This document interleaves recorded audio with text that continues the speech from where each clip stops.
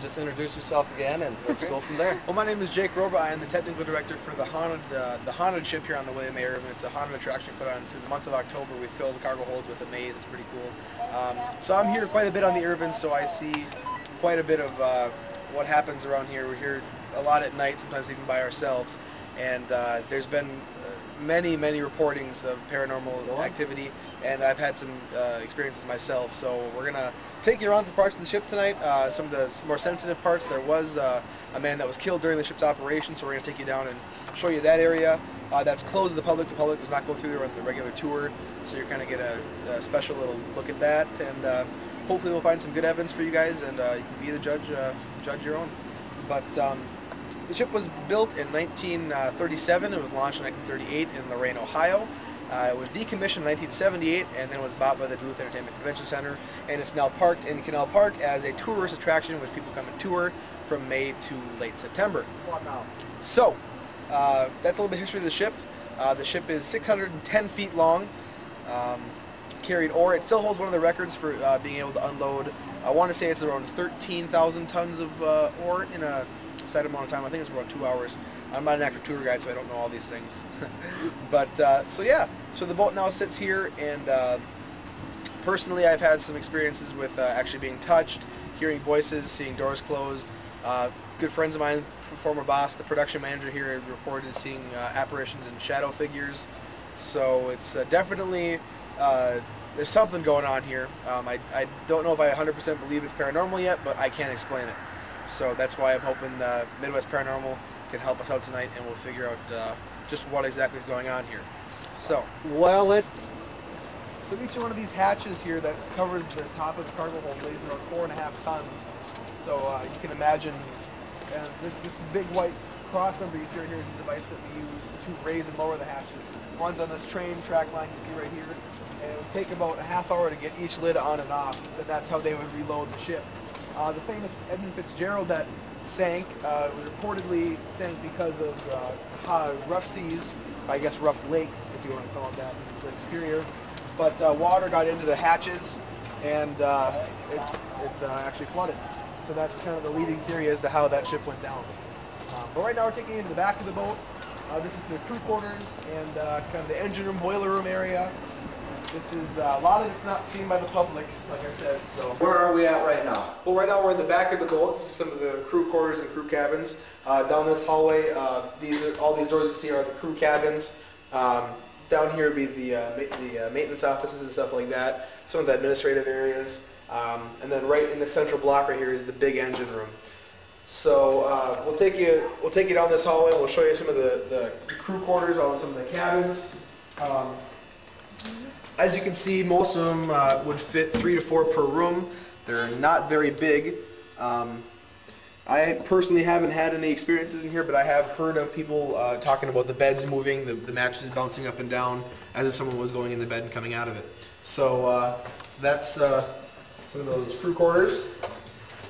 I also heard uh, uh, it's kind of on the residual haunting type of where footsteps were coming down this Right. hallway at a certain time. I read Right. one of the other maintenance men was saying. Right, and then this hallway also, whenever there was a distress call, an emergency call, all the men, there's a bell on the wall right next to, right over there, and if there's an emergency, they have to ring the bell, and all the men would just bolt out of bed and start booking down the hallway.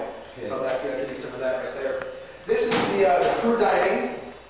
There's a big long wooden table right here. This would feed uh, most of the crew.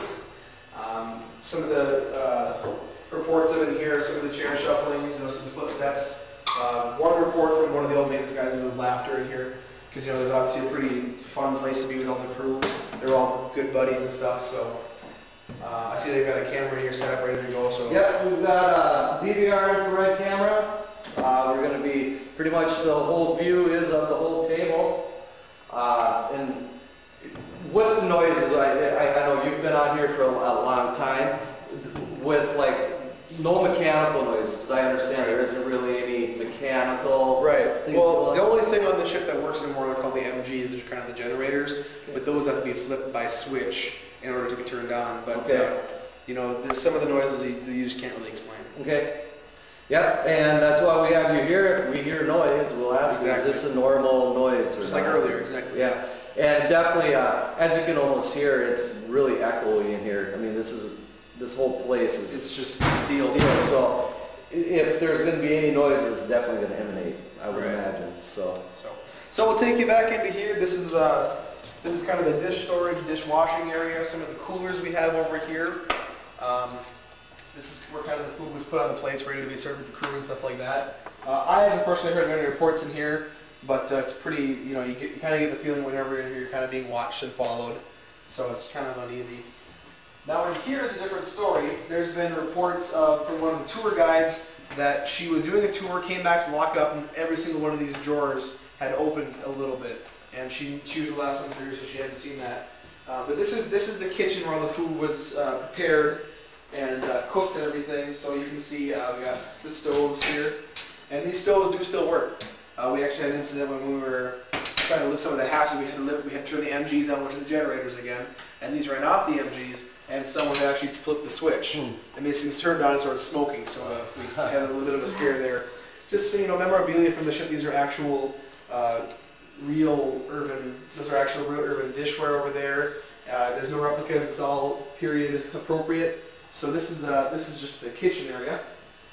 And also, uh, explain, you know, some of the outdoor noise that we're gonna get. And Right. Of course, we can hear the music, Right. but. Some of the outdoor noise you might hear might be water splashing up. Uh, if it is kind of windy outside, so you're going to hear, we have like actual monster truck tires up against the side of the ship. You might hear those kind of squeaking around, but those are, they're really distinct. Um, some of the cracks you might hear, um, normally when it's hot outside during the night, the boat will start to cool down and start to hear it tinking, but we're not going to hear that tonight because it's actually pretty cold out today. So if we start hearing a lot of tinking, either there's a kid throwing rocks at the ship, which doesn't happen that much, or I don't know, ask Brian what it is. Again, hopefully we'll find out. Yeah. Exactly. So then in here, this was kind of the area, from my understanding, where the kitchen staff would eat. Uh, same kind of thing here, just a joyous place to be, liked place. So, and then we uh, go back here. The whole design is kind of going in a U. So we're gonna take it down to the engine room now. This is this is kind of uh, now we're getting to the hot spots of the sensitive areas. So. And another thing about the engine room is you notice that the floors are not solid. Uh, you do see down to the, the lower level down there, which uh, it, when it's lit like this is pretty creepy. so uh, they have, there's cameras set up all around this, so if there's any activity, I'm sure you guys are gonna catch. Yeah. Uh, it's a pretty pretty hot room, but uh, there was one shipmate who was killed during the ship's operation. Um, basically, what happened was, uh, well, you know, why waste my show? We'll, um, so, uh, welcome to the boiler room. This is the one part. Of this is, oh, there's only two parts in the ship where I won't go by myself, and this is the first one. Um, so basically, what happened? These are the boilers for the ship. These boil uh, and kind of power the ship. So welcome back. Uh, right now we're in the, the boiler room. This is where the which is one of the shipmates was killed. The only shipmate uh, actually killed on the ship. Uh, what happened was these boilers, uh, they this, the pipes go up and send the steam around. There was a leak in one of the pipes, so they cinched off that pipe, send, thus sending the, the steam to another pipe. Uh, they fixed the first pipe and then shut off the red, the second pipe, not knowing they had not uncinched the first one. So essentially, they made a pipe bomb. Uh, the pressure built up in the boiler and blew, and you can see how much force was exerted by this door by the fact that this latch right here put that big hole in uh, that piece right there. And this is, I, I'd say, the most the sensitive area of the entire ship. So, Yeah, and there were two others uh, injured, in- scalded too as well. So I, uh, definitely this, and again, this place is pretty, pretty massive. And just Yeah. looking at it, like you said, it's like a labyrinth of rusted metal. right. Uh, you Freddy Krueger fans, this is definitely where he will, he would be residing in a, a perfect place like this. Uh, in, in the, the boiler right here is just, it's a massive little area where, you know, maybe one of our investigators can maybe crawl in there. I might be one of the ones that could actually fit, which so I might try or uh, we'll see what happens. Uh, what we are going to do, we are, uh, we're going to go lights out here soon uh, on the ship, especially down here in, in the uh, boiler room.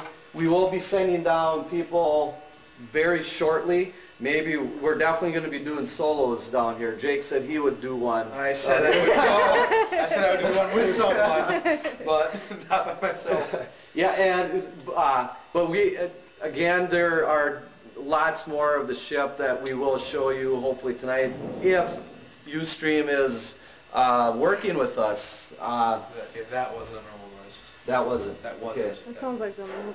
Yeah, It might be Jeremy and Brody. Someone. That's John. Okay. Okay. Uh, Logical explanations. Logical explanations. But we will be uh, showing you some more of the, the ship as our, as, as our investigation goes on. Uh, we will be starting down here. There's also the, uh, we- you know, we took you through the, through the cruise, um, uh, where they resided, where a lot of activity did happen there.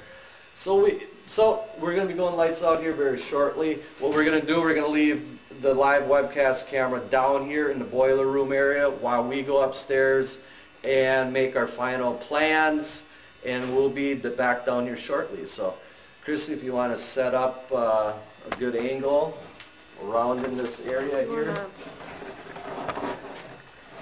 wanna put The chair, I mean, can we put a chair so somebody could sit in it maybe? Yeah, that's what, Okay. you wanna grab that chair, Jake? and- Wanna put it in this bucket? She put it right where the man was standing Yep. when he died. Yep, that's exactly where I want it. That's unnatural. That's why we're here. Oh boy.